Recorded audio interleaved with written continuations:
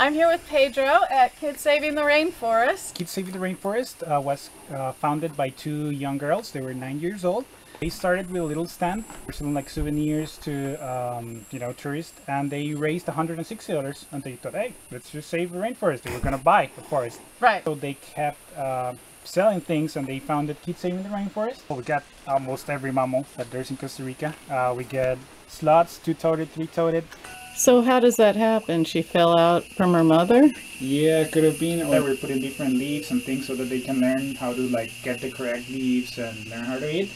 All kinds of monkeys, squirrel monkeys, spider monkeys, howler monkeys, capuchin monkeys. Come on, guys. Hi, dude. Hey. Famous because they're gonna be in a documentary. Oh, neat. so we were you, doing guy. that. Um, and uh, well, I Did mean, you get that? Did you get that? Hi. yeah, the, What's the most common injury you see? we get a lot of electrocutions, uh, and we get a lot of um, car accidents Yeah. with animals. Those are the two main things that we get. yeah. The the monkeys, so they can use it basically like another hand. Yeah, they can like pick fruit or whatever. and just, like, yeah, they- at the time they were doing some training. So uh, when Dad got over there, a lot of people love animals. The problem is that they love it too much, so they want to keep them. And uh, yeah, that's a problem because the animals don't have a, a proper diet and they don't get like enough exercise. these. While watching herself, will start flickering her tongue, uh, going like that. Can you tell me about monkey bridges? Yes, the Monkey Bridges is one of the first programs that we have because those girls were really interested in squirrel monkeys.